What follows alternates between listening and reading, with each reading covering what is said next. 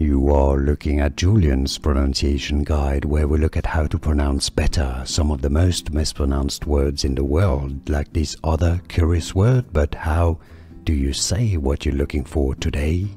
We are looking at how to pronounce these words as well as how to say more confusing vocabulary that many mispronounce. So make sure to stay tuned to the channel. S- psychopathologically.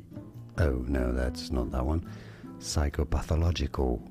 Psycho, yes, silent P. Psychopathological. Psychopathological. More videos for you here to learn more correct pronunciations. Thanks for watching.